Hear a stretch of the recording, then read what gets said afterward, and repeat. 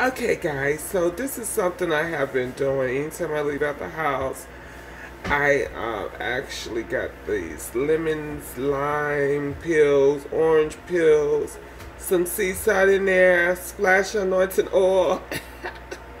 Gotta get some. You need some oil, you know. Pray, baby, pray.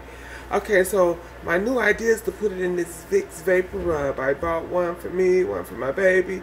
That way, when the steam comes out, First of all, let me back up. Once this boil and I get some steam, I take like a little towel, cover my head, you know, inhale, and uh, yeah. They say uh, the COVID tries to stay in your nose, starts in your nasal, they say it goes to your throat. So the idea of this is anytime I have to go out, I do wear my mask, I do wear my gloves, I do all my antibacterial things, but I still come home and I do this, and it has been working wonders. And then now my new idea is to put it in the Vicks Vapor. You see, I have it right here.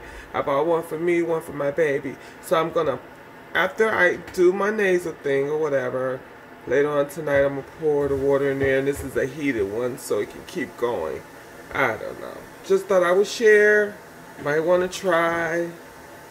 Hey, no harm in trying. Oh, and also remember, inside all these lemon, orange peels, lime peels, I also applied some sea salt in there, okay?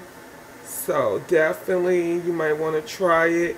Cover your head with your towel and inhale. All right. Time to, um, yeah, thought I'd share.